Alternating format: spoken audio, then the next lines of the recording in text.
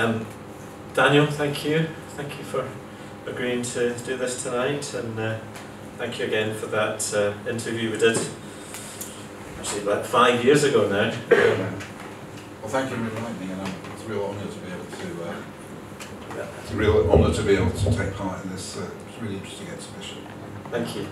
Um, we, we obviously did quite a, uh, an extensive interview um, last time, and that's now on YouTube. Uh, if you look for Leer and Rental interviews on YouTube, you can find that. So we'll try not to repeat things, so you're not having to answer the same questions over and over again. We'll try and think of a couple of new things to, to different angles to talk about them. And one which uh, very, very, very grateful to you to uh, lending us your um, Korg synth, uh, which is on display at the back there. Um, understand that's never been in, in public display before, so I really appreciate that. Um, obviously, that was the that was the synth on which you wrote Warm Leatherette and TVOD. Um, could you tell us a little bit more about that instrument and what it meant, means to you and, and what you used it for? I mean, it was it was a it was a specific moment really. There was punk going on.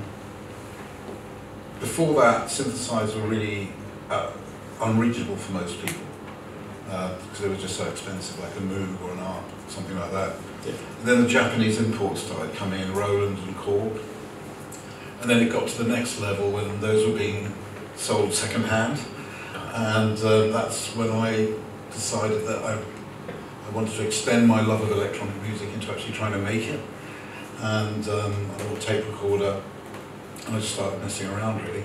And uh, I just had the, that synthesizer.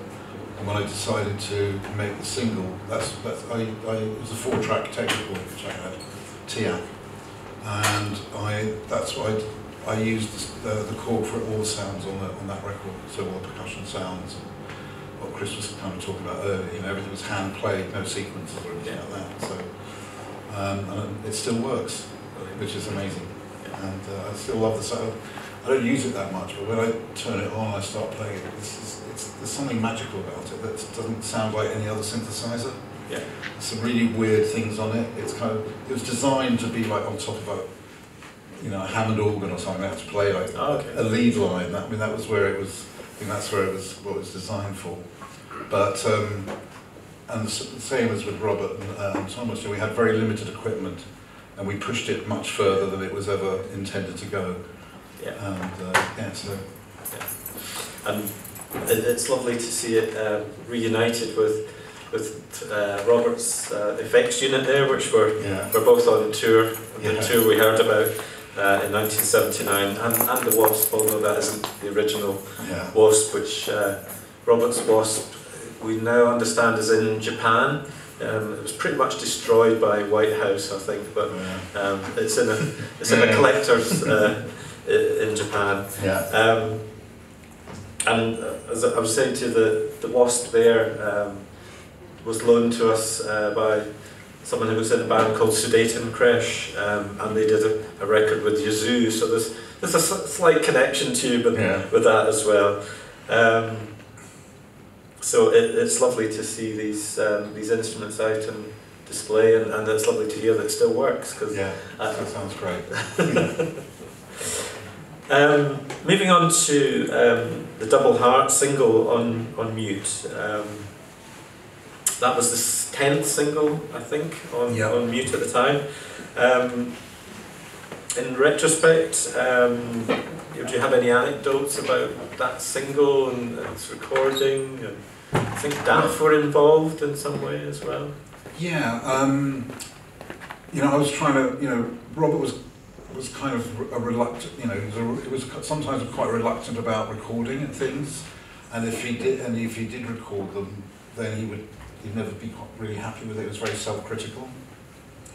So I thought, and we were still in touch after, you know, working together live and so forth. I thought it'd be really good to get him into a studio and sort of get him to finish something.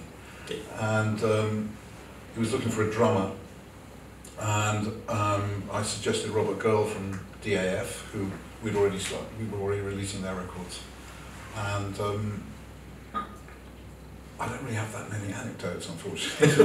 That's okay. But it, was, but it was recorded at Blackwing Studios, Yeah.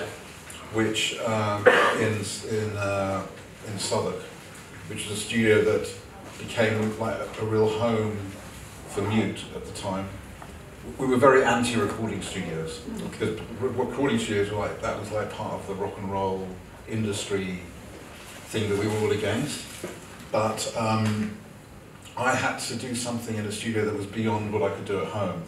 And I searched around Melody Maker or wherever for studios, and I phoned up a lot, and I didn't really like, it didn't sound very good. I said, I'm not coming with a band, I'm just coming with a synthesizer. And it's kind of, people go, what, are you talking about? And um, I finally got to Blackwing, and uh, which was owned by an interesting character called Eric Radcliffe. He was a, he was a guitarist, and he was um, he was a scientist as well. And actually, he was at Imperial College with Brian May and the Queen guys. Okay. Um, and I said, oh yeah, we're just going to come in and say, oh, that sounds great. Yeah, so, and, and he was brilliant to work with, and uh, we did a lot there. Fad Gadget album, Silicon Teens, um, uh, Duet Emmo, Dome also used it, Graham and Bruce, they used it. Um, Ivo at 4AD used it a lot as well at that point. I think Pump Up the Volume was done there, and this Mortal Coil. So it became like a hub Yeah. it was the only studio that we all felt comfortable with in that because the guy who was running it was so sympathetic to what we were doing. You know? Yeah. It wasn't like it was this kind of cliche of like recordings, produ- uh, record producers with cowboy boots with their feet on the desk, you know, yawning, and, uh, and lots of hissing. And by this point, wa- was there some connection or essence that connected the, the artists you were working with at that time? You know, DAF, Fad Gadget, Non, Robert. Was there something that connected them, or was it was it just your personal Well, yeah, I mean, interest? I mean, there was a lot that connected them in a way. They were all coming, we were all, they, we were all coming from a place of um, otherness, being, you know, outsiders, uh, musical outsiders, in some ways, people outsiders, you know. And um, I mean, DAF, I was, I was a big fan in the 70s of, you know, what's known as krautrock, Yeah, kind of racist term, but, but still.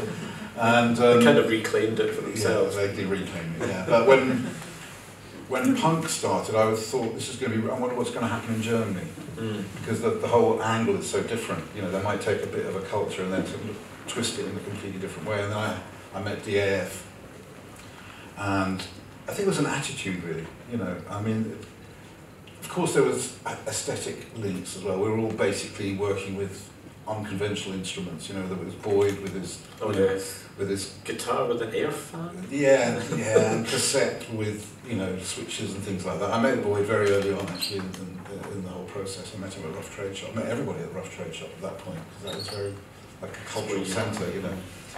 And um, so yeah, we were all experimenting. We were all we were all. I think you know we were all kind of inspired by punk.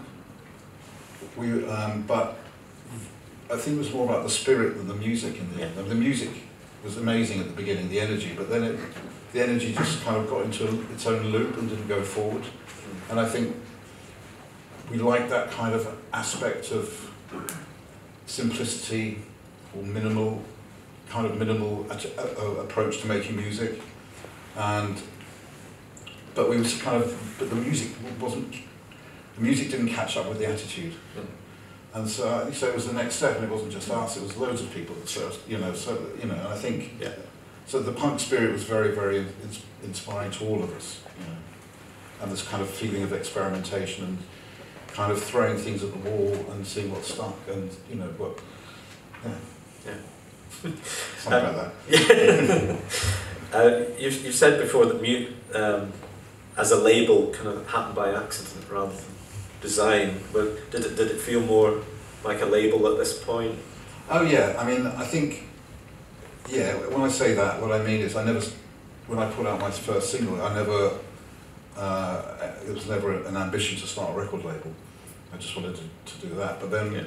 and then I sort of get demo tapes, and it was very strange. I didn't know why people sent me demo tapes. I wasn't a record label. Yeah. I just felt a record. Then I met, I met uh, Frank Tovey, Fad Gadget, um, introduced to me by Edwin Pouncey, Mhm. who was uh, NME Savage Pencil cartoonist. And I really, you know, we just got on and I liked his aesthetic. I thought he had a really dark, he, we shared a kind of similar dark sense of humour. Yeah. And I said, why don't we make a record? And at that point, that's when it started, that's when it became a label, really. Yeah.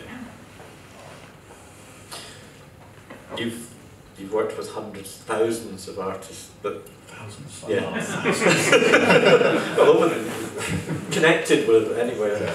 Uh, Rob obviously has, a- you know, there's a clear affinity with, with Robert uh, that's going back Mhm. uh, all the way back, but obviously continued long after um, you actually recorded together. Um, you know, was was that a personal thing? Was it a musical connection? You know? Yeah, I mean, I think I think it was it was both of those things. I mean, we, you know, as I think was mentioned in the film, we met at a Throbbing Gristle Mm. gig, you know, and um, we both after the show we went uh, we both went down to the front to sort of just like engage with the band with Throbbing Gristle, and we sort of and they were very friendly. I remember Sleazy showing us something. I said, I said, oh, well, how'd you get that? What sort of promising? Or oh, just some nerdy question Yeah. and he was super friendly and um, not like the, the stage persona at all. They were really warm Mm. and friendly and encouraging.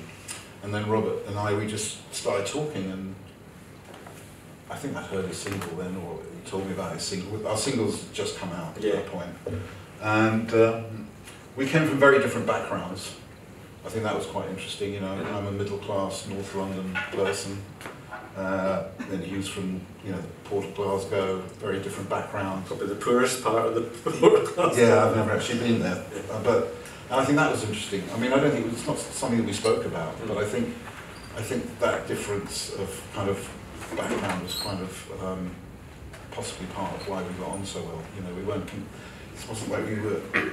There wasn't somebody else from North London I was competing with. There was, well, you know. So I don't know. I don't know Yeah, why, but it just but we just really got on. Yeah, we had a very similar aesthetic. I think we got on, and you know, it did end. It did end in a drunken brawl in Paris. but, well, uh, it didn't end. no, it didn't. End, it didn't end. So But, uh, we're friends really Yeah. until, I think. until I think. died. yeah, but I think you know, uh, we we we did the rough trade tour, and I think we thought that was probably enough now. You know. Yeah. Because we wanted to keep moving forward, you know, you know, we didn't Yeah. really want to be a band. We just Yeah. just were brought together by circumstances. That seems to be a common theme with both Thomas and Robert. Um, and, and you touched on it in the film that you said we, we were a bit older. But Yeah. in, in terms of a lot of the punks were 18, 17, and you Yeah. were 25, and so were Yeah. Thomas and Robert. Um, they were quite sing, sing, um, single-minded and, in where they wanted to go. Extremely, yeah. um, and they weren't really prepared to compromise. And, and, you know, they, they turned down a number of quite lucrative type of offers. You, you Mm. mentioned the uh, the Wire, the Wire's management offered to take them on, and Yeah, we were courted. We were courted by. We met Wire. Uh, we met uh, Mike Collins, who was one half of the management company. When we, the first after the after the um, Cryptic Club, we were invited by Prag Vec, uh, kind of post-punk band around the time. They did who I knew a bit. They had a little three-gig tour, and they invited us to uh, to join them, to support them. It was actually interesting. I, we played at the Factory in Manchester, which was before the Hacienda. It's called Yeah. the Russell Club. But in the Tony middle of Wilson. High. Yeah, sorry, middle in the middle of Hulme. could be, yeah. Yeah, it was pretty. And um, and that's where I first met Tony Wilson, and he was getting very excited because he showed me the sleeve for the first EP, Mm. the Factory EP. So it was really early days, and then Mike Collins uh, started talking to us. Said, "Oh yeah, I'm, I'm you know I manage Wire, and they're real fans of your music." And we went, and then we got back to London. They invite, we went round and met up with Wire in a pub somewhere, and that was the beginning of a very long relationship, you know. And the Mike and uh, Brian Grant, who was his partner, who'd been the Pink Floyd's tour manager and ran Britannia Row. They wanted, they, they kind of were interested in managing us, and we were, they were, they were good guys, but we didn't really want to be a band to be managed. We didn't, you know, Yeah. first of all, we didn't look for a manager, second of all, we didn't want to be a band, so that kind of, but I'm still, you know, close to all those guys. Yeah, and uh, I think a similar thing happened after the bridge. So, but with Thomas and Robert, they didn't want to be a band either, and um, Eno's label uh, EG were keen on licensing their work, and, Oh, really? and they were like, no, we're not a unit, you know, we, Yeah. we don't want. so, in, in, in, a, in a way, do you think some of these decisions kind of had an impact on their musical careers and so on? Yeah, no, I, yes. Well, I'm sure you know who knows, but I mean, I think they're what I would call obstinacy because they were pretty obstinate guys. um, Thomas still is.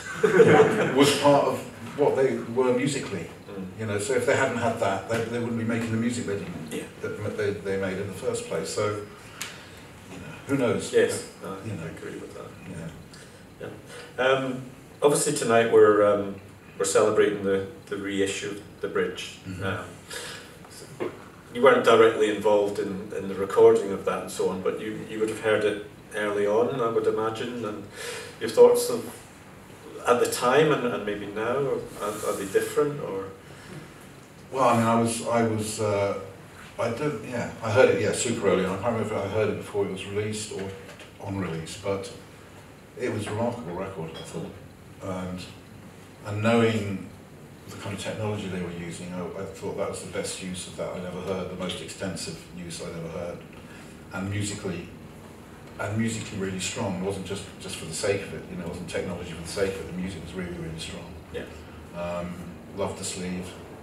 Um, yeah, I mean, I, and I, you know, as Chris said in the film, you, you can't put it, you can't place it in time. It's, it's, it's in another universe, another time, in another time warp. Yeah. And I still think the same today. yeah I'm really happy to be releasing it, that, that um, we're able to release it because it's Yeah. an important record. Yeah. And uh, it's a very important record, isn't it? And as you said in your opening, uh, in your opening speech, you know, they, they are under-recognised, I think. Yeah. Um, for what they did, and um, as you know, partly because of their own single-mindedness, which is what made them what they were. You know. yeah exactly Yeah. You can't separate the No, character from the No. music. Yeah. Um, so looking back to going back a bit to '78, your own single singles, the normal, "Private Plane" comes out, Para, "Paralysis," ACC, Robert's single, they're all very close together. Um, they're quite often thought of as, as a kind of holy trinity of Mhm. electronic singles. Is, is that something that's been kind of imposed as a, as a retrospective impact, or, or did you feel that at the time? Was there, was a real kind of feeling that this was the, the Well, next? yeah, I mean, I think I, I, most of the people who were making singles around electronic singles at that time were working in in a in a in a silo. They didn't. There wasn't like a community. There wasn't a scene really. Yeah. I mean, I know Cabs had connections with Throbbing Gristle, of course, and I'm sh- in Sheffield with uh, you know Human League. I don't know what, quite what that relationship was, but for me, for me, that I didn't know anybody who was making that kind of music at all. Um, and I, I think Robert and Thomas were unique in you know from where they came from. They, I don't think they were connected to a scene. There was no, there wasn't a scene. There wasn't any music. uh, there wasn't very much music. So. Um, but as, as I said uh, before, it was a very special moment in time in kind of musical history with those all that stuff coming together, all influenced by the same music, by what was coming out of Germany in the earlier part of the seventies. Yeah. The kind of affordability of recording and electronic instruments, and punk, and the, the DIY spirit that came out of part came out of punk. It's weird with punk, isn't it? Really, because like one half of it was like very DIY, and the other half was like screw the majors for as much money as you can. but um, um, But it, it opened a lot of doors, like venues and so on, that yeah, would yeah, never have had without exactly. You know, and uh, I always credit the Desperate Bicycles Mm. for doing their little put how to make a record. They had a little pamphlet called How to Make a Record or something Yeah. like that, or How to Release Your Own Record. And um, yeah, so it was it, it was all it was in the it was in the cosmos really. All those things kind of came together at once, but it came together from an, just an unconnected place. Yeah. That makes sense. Yeah, yeah, yeah. Um, at that time, you were working in the film industry. Bit posh. Yeah, within the industry. But um, no, I just wondered, um, and it was something I didn't know about before I started the sort of research into this. Yeah. Um, that that Robert uh, had also had some links with, um, well, particularly with the um, London Film um, filmmakers co-op where, where you actually met, but Yeah. he was already linked up with a Oh, chap I called didn't know that. Yeah, Okay. a chap called Nick Emery, oh yeah, sounds familiar. um, who I, I made the full power of thinking he was Dick Emery's son because Dick Emery does have a son called Nick. okay. So once we got over that hurdle, for the, for the older members, of the, memory for the older members of the audience. Um, but we, we actually have a, on the monitor that we've got a couple of the art films that um, Robert and, and Nick made. Robert was primarily doing the sound again. Right. I think they borrowed a, a Synthi, um, AKS Synthi A from I must, college. I must have known that. I wondered if he talked to you about, about film or Uh, so. Well, I'm, sure- we did talk about film in general, I Yeah. remember, because we had a similar taste, but no, don't, yeah. Yeah. He, he taped a lot of stuff off, off television as well. That appears Right. quite a lot in his. Yeah, found in sound. his yeah. So James Burke seems to be. Yeah. Tomorrow's World. Yeah. Um, yeah, we can take a look at that. Um, yeah, I was just wondering, um, you know, Robert didn't record for many years, and his work is, although we've managed to release some more in the last couple of years, largely part of the, the kind of burgeoning interest in, in his career. Um, would he have been more prolific, do you think, if he'd been part of a band or a duo? It's hard to say. Yeah. I mean, I, uh, I, I, I, I, um, this is a few years later, I guess in 86 or 87 maybe? No, no, no, I'm talking about 83, 84. We moved offices and we had a studio in our new office in Harrow Road. And I got Robert along to, to just to do, I said, come on Robert, just go in there. There's a really, we had a really good engineer there called Paul Kendall who did a lot of stuff, PK. And I thought they would really get on because they had a very similar kind of aesthetic and, uh, and approach, you know, a very unconventional approach. And yeah, so he, yeah, so I said, come on, go, go in the studio for a while and just see what happens. But he was, you know, I think he was very, he was very self-critical Mm. and um, was not really happy with what he did there. And didn't even really want to play it to me because I think he was worried that if I liked it, I might want to do something with it. But, Yeah. um, and that was that was that was sad because uh, I was really hoping that something might come out of that. Yeah. Yeah. yeah. And it's amazing from um, unearthing some stuff from that, that Hillary had, some of the tapes that Mhm.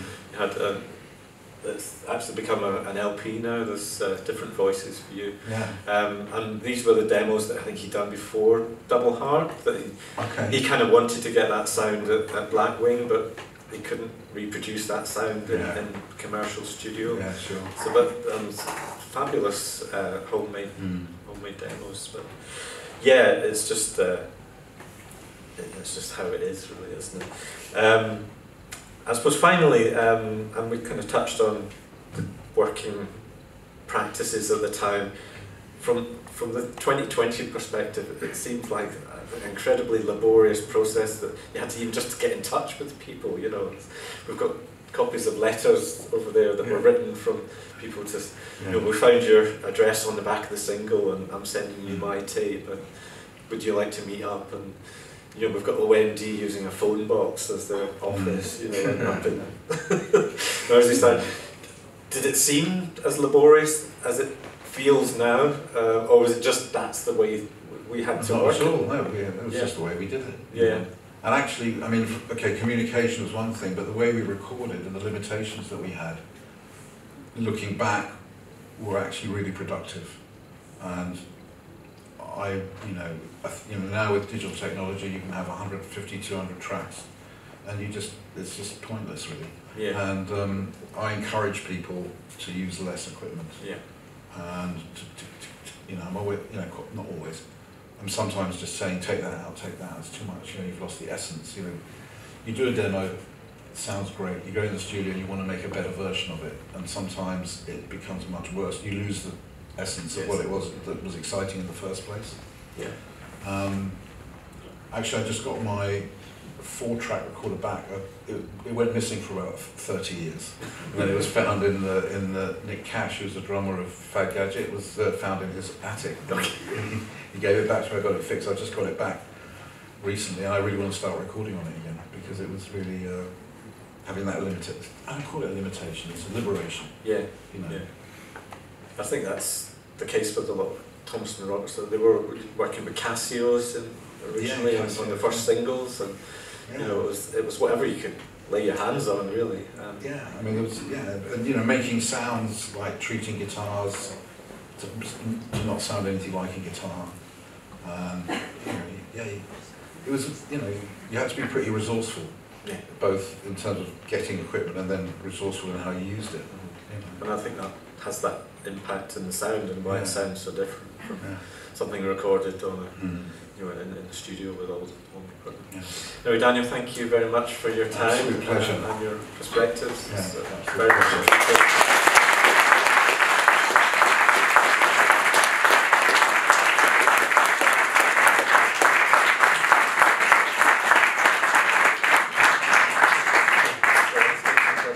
Sure, yeah. Um, you'd like, uh, we could take some questions from the floor. Um, Simon Helm from Hi. Cold War Nightlife. Yeah, it is. Uh, hi, Dan. Just a just a, a hard question, maybe, or or maybe easy. Uh, did Robert ever share with you the words of the songs on the West Runton Pavilion recording? So so when you when you were working together, did he share the words?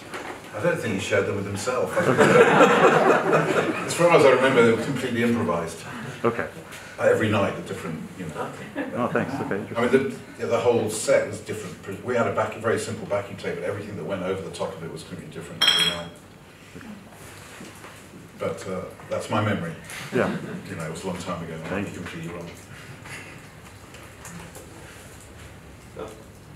Nick? Uh, talking about the backing tape, I noticed it's over there, yeah?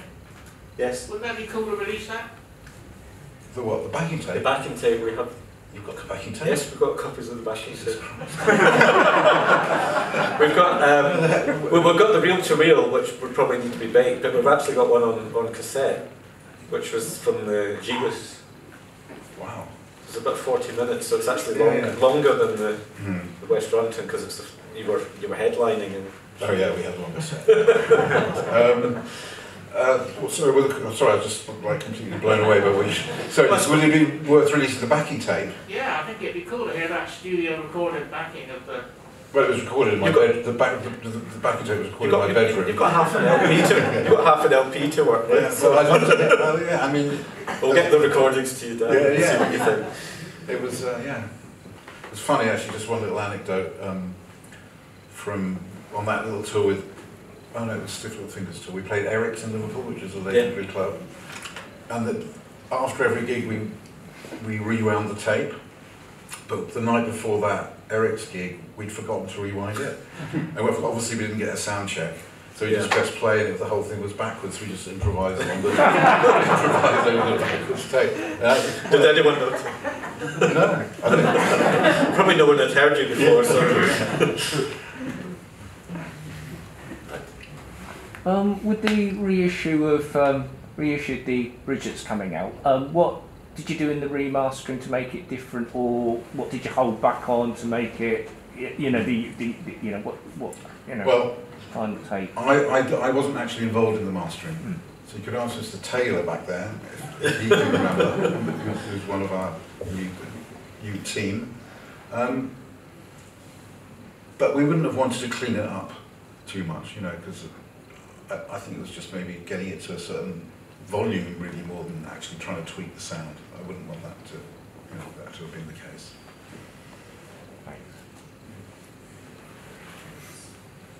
So it sounded good on Spotify.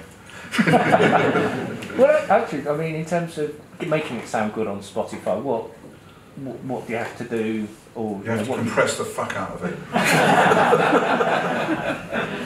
and you, you know, we sometimes do diff- different versions for Spotify and for vinyl or CD. So yeah, I guess I was fascinated by the fact that 78, 79, I mean, obviously, you know, since coming down in price and, um, you know, the proliferation of, like, potential proliferation of electronic music, but all that kind of stuff, and, and you clearly bore the brunt of that. And so it was still very, I mean, people young, really wouldn't understand these days of, like, you know, the horror of using electronics in music that still existed at that age, you know, that almost Mm. Luddite phobia. And so it's almost like to actually embrace that kind of technology the way that you did almost makes you kind of quite a rare, almost perverse soul. I just wonder what originally, you know, when you say, you know, you and Robert, you know, very Mm. different backgrounds, and you know, what actually originally um, kind of what sort of epiphany got you into into the idea of making electronic music? Was it even made even before krautrock and all that? Um, well, I mean, I think I think that, you know, listening to people like Kraftwerk in the very early days, or Klaus Schulze in the very early days, and Can, obviously, and Neu a bit later. Um, that was all going on at the same time as Emerson, Lake and Palmer. Um, I can't remember all those kind of progressive rock bands, and it, and I was I was not a fan of that progressive rock. I th- partly because I thought they got all this amazing synthesizers. They're just trying to copy other instruments. It's same as it's a bit it's a bit sacrilegious to say this, but I felt the same about Switched On Bach, which The was one of the Walter first. Carlos, yeah. Which was Wendy Carlos, or Walter Carlos, which I which is one of the first electronic records I heard. Yeah. Um, which I heard around the same time as Tonto's expanding headband. Tom, Tom, Thomas, uh, um, he, He cites, he yeah, Tom, um, as one of the first that he heard. Yeah, well, it was one of the first kind of pop, you know. I wasn't, and I, you know, anyway, so I was against synthesizers being used in a certain way uh, as well, you know. And it was very, it was kind of, oops, kind of pseudo-classical, pompous, all about, you know, technique, all about technique. And but then I heard, you know, Can and, and who, you, weren't an electronic band but used electronics a lot, of course. Hawkwind as well Mhm. who I Yes. was a big fan of Hawkwind. Uh, it just it was like using them as noise machines, or you know, or not, not noise, pure noise, but using them in, in a totally unconventional way, and that's really what attracted me to it. Yeah. But you remind, or you've reminded me of the, I think the musicians union at that time were trying to, Mm. to, Oh, yeah. to get Yeah. synthesizers banned. Yeah, they were. Yeah, Yeah. And there's a famous. But you couldn't quote- be a member Yeah. of the union. And there's like, you know, there's a thing, you know, some, a lot of the punks were against synthesizers. So there's a famous quote, there's a famous documentary with Joe Strummer going on about Moog synthesizers with his fake Cockney accent. And, um, and you know, the undertones, my cousin Kevin, and all those kind of things. They were kind of anti, it was a bit too arty, a bit too art school. But having said, a lot of people who did make that kind of music had gone to art school, including me. And um, yeah. Yeah. I hope that answers your question roughly. Anyone else? Okay, well, again, thank you, Good. Daniel. Thank you We very much. appreciate it.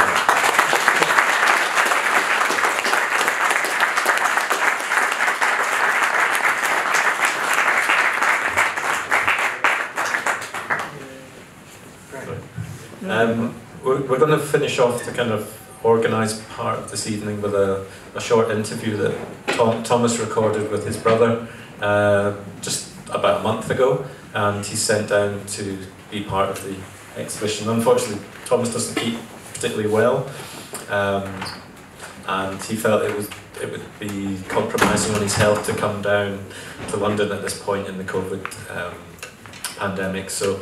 Um, so this is his contribution along with this, the soundtrack that you heard earlier on. So thank you. Thanks.